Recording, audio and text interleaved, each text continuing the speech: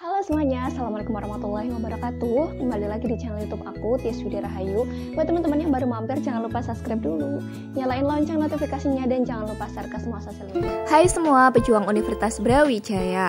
Nah, jadi beberapa hari yang lalu itu udah ada yang aku share terkait jalur masuk Universitas Brawijaya dengan menggunakan nilai menggunakan nilai rapot. Maka dari itu, nah sekarang itu aku mau jelasin terkait jalur mandiri Universitas Brawijaya menggunakan skor UTBK pada tahun 2021. Nah, di sini untuk penjelasannya itu seleksi mandiri Universitas Brawijaya merupakan seleksi masuk yang diselenggarakan secara mandiri oleh Universitas Brawijaya untuk program sarjana S1 dan vokasi D3 dan D4. Seleksi ini dilaksanakan berdasarkan nilai atau penilaian hasil skor UTBK atau ujian tulis berbasis komputer pada tahun 2021 serta prestasi akademik dan non-akademik dalam dua gelombang.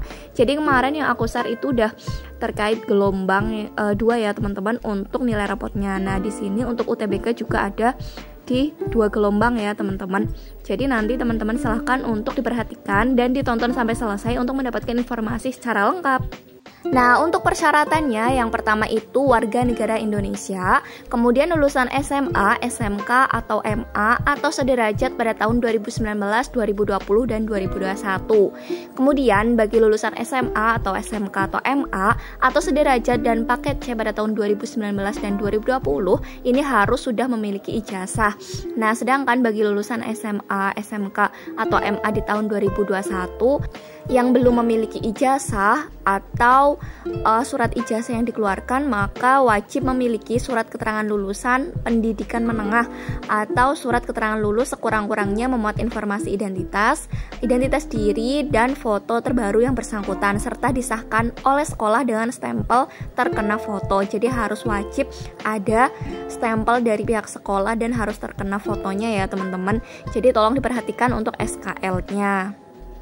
Nah, kemudian bagi lulusan sekolah di luar negeri ini harus memiliki surat penyetaraan ijazah dari Kemendikbud, terdaftar sebagai peserta dan mengikuti UTBK pada tahun 2021, memiliki NISN yang terdaftar di NPSN. Kemudian peserta seleksi memiliki kesehatan yang memadai sehingga tidak mengganggu kelancaran proses pembelajaran di program studinya. Jadi harus sehat secara fisik dan mental ya teman-teman. Jadi nggak ada gangguan nanti ketika berlangsung proses belajar mengajar. Nah, kemudian untuk pemilihan program studi yang ditawarkan ini terdiri dari tiga kelompok, yaitu kelompok saintek, soshum, dan campuran. Kemudian untuk setiap pendaftar hanya dapat memilih dua program studi dari kelompok saintek, kelompok soshum ataupun campuran, dan memenuhi syarat dari masing-masing program studi S1 maupun D3 atau D4. Kemudian peserta dari jurusan SMA, SMK, MA, IPA yang mengikuti UTBK kelompok saintek ini dapat memilih dua program studi saintek pada S1 maupun D3 dan D4 jadi nggak boleh lintas dari UTBK-nya kalau misal saintek ya saintek kayak gitu.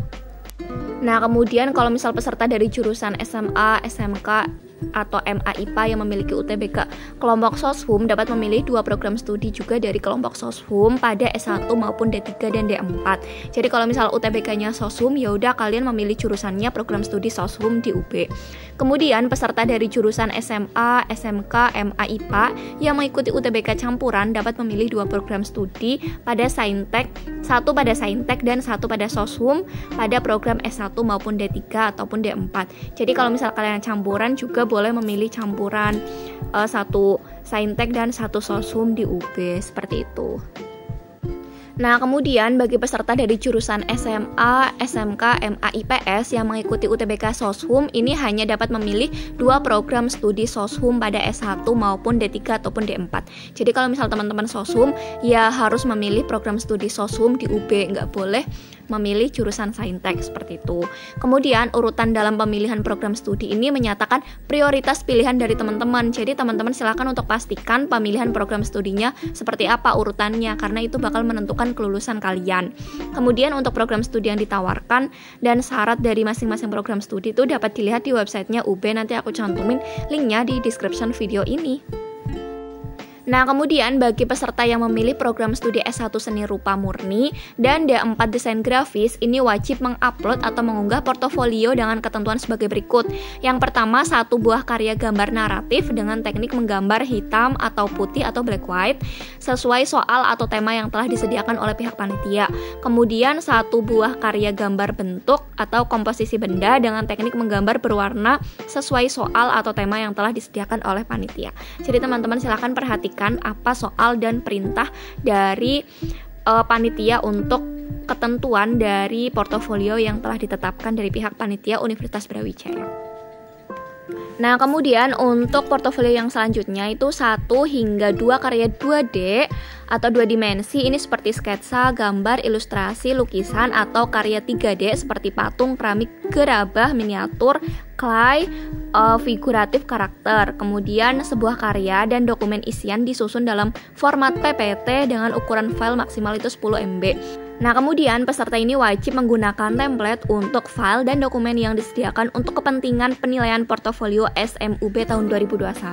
Apabila peserta tidak menggunakan template file dan dokumen yang disediakan, dokumen portofolio ini yang bersangkutan dapat didiskualifikasi atau tidak bisa untuk dinilai seperti itu. Nah, untuk proses penilaian tersebut atau uh, portofolio dengan file templatenya nanti aku cantumin juga linknya di deskripsi video ini. Jadi teman-teman silakan untuk diklik apa aja template portofolio portofolionya, kemudian petunjuk penyusunan dokumen portofolionya seperti apa. Nanti kalian silahkan klik video di deskripsi ini ya. Jadi nanti teman-teman silahkan diklik aja karena itu udah sesuai dari pihak Universitas Brawijaya. Teman-teman silahkan diunduh dari situ filenya.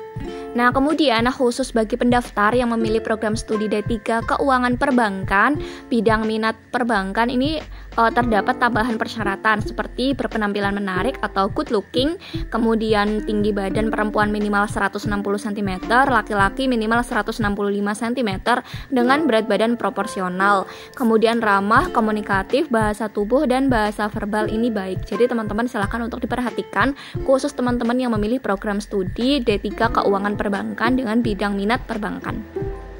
Nah ya kemudian lanjutan masih dari program studi perbankan ini mengirimkan pas foto berwarna ukuran 4x6 uh, foto seluruh badan ukuran postcard harus terlihat dari atas kepala hingga kaki diunggah dan diupload pada laman pendaftaran dan video perkenalan diri full body uh, bisa dengan format TikTok kemudian tentang latar belakang pendidikan, keluarga, motivasi dan lain menggunakan pakaian formal yaitu untuk laki-laki kemeja dan jas, untuk perempuan kemeja dan blazer.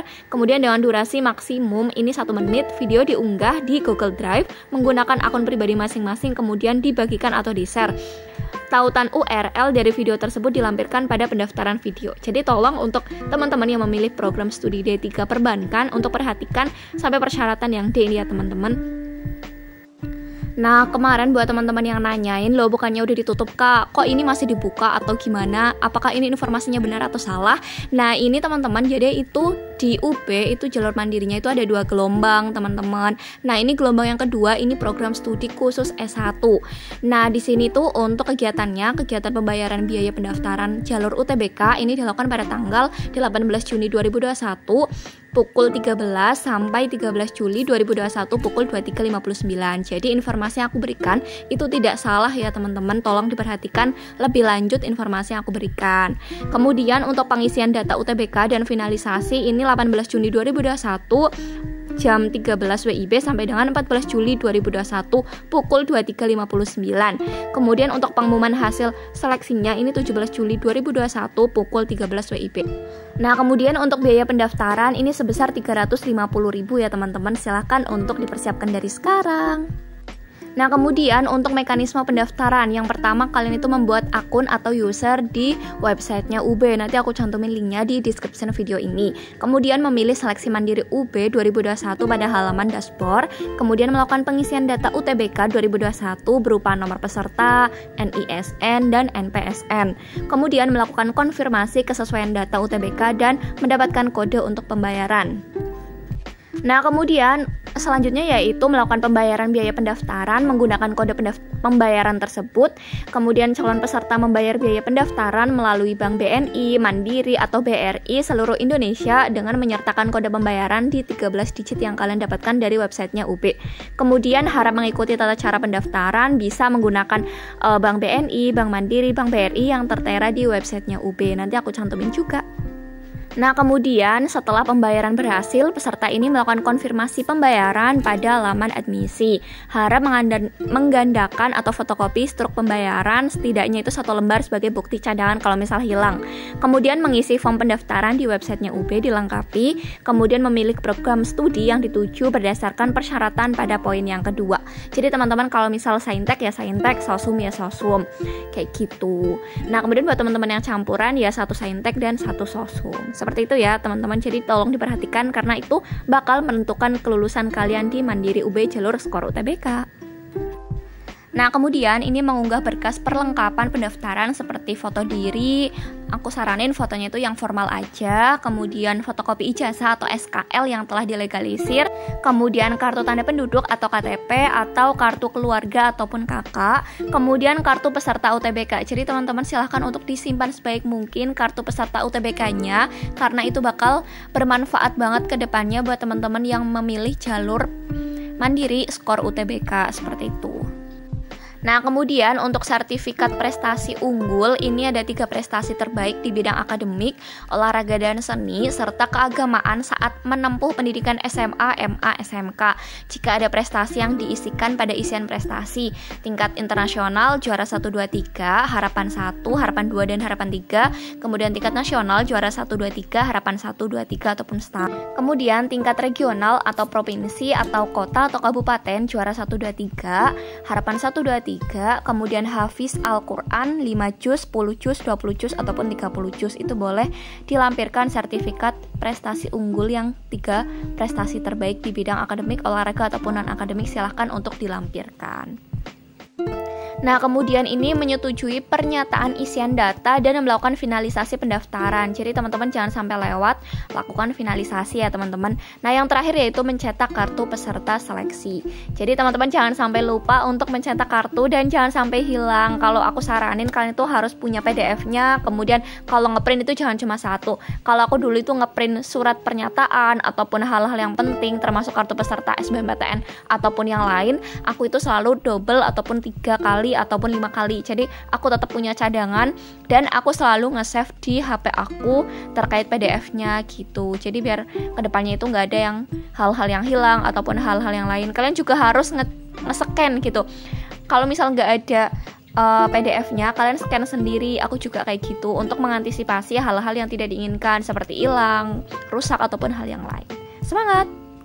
Nah, kemudian kalau misal ada informasi yang diperlukan, kalian juga uh, silahkan hubungi Halo Selma. Itu aku juga nanti akan cantumin linknya. Jadi apa pun yang misal kurang jelas ataupun hal yang kalian bingung silahkan tanyakan di situ. Dan untuk semua informasi pengumuman ataupun perubahan jadwal itu akan selalu diberikan informasi atau diberitahu melalui websitenya UB jadi teman-teman silahkan untuk dipantau websitenya UB juga dan dipastikan informasi yang aku berikan itu benar atau tidak.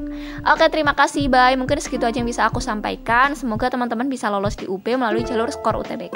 Terima kasih Bye, mohon doanya besok pagi aku ujian semoga diberikan kemudahan dan teman-teman juga bisa lolos di UB. Mohon doanya ya, semoga aku juga bisa lancar ujiannya dan bisa lulus dari universitas kampus aku. Oke, terima kasih Bye. Assalamualaikum warahmatullahi wabarakatuh. See you. Semangat berjuang Universitas Brawijaya.